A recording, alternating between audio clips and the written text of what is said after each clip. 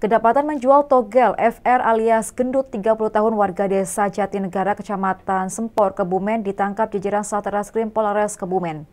Kepada polisi tersangka mengaku dalam sehari ia bisa meraup keuntungan hingga Rp400.000. Kedapatan menjual kupon Toto gelap atau togel VR alias gendut 30 tahun warga desa Jatinegara, Kecamatan Sempor ditangkap jajaran Satreskrim Polres Kebumen. Penangkapan dilakukan pada hari Rabu, sekitar pukul 20.00 waktu Indonesia Barat di lapaknya berjualan.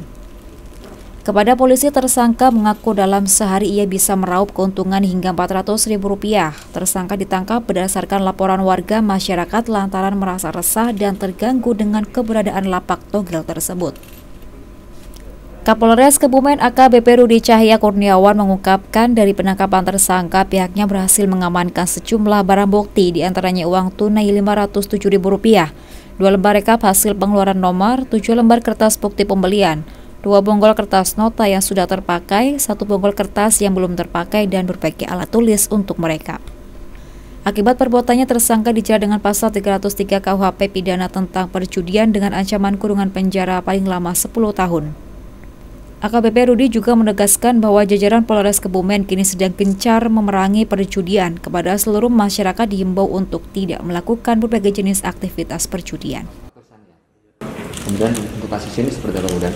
Eh, si tersangka dengan kesehariannya dan pekerjaannya dia menjual kupon judi togel selama ber, beberapa minggu, beberapa bulan terakhir. Jadi saat Reskrim Polres Kebumen berhasil menangkap di rumahnya dengan PP-nya yang tujuh pendek kupon uang uang pembelian uang rekapan dan bukti rekapan atau bukti keluar masuk pendapatan omset dan ini kita jadikan barang bukti untuk dilakukan ke persidangan. Dari Kebumen, Parianto Banyumas TV melaporkan.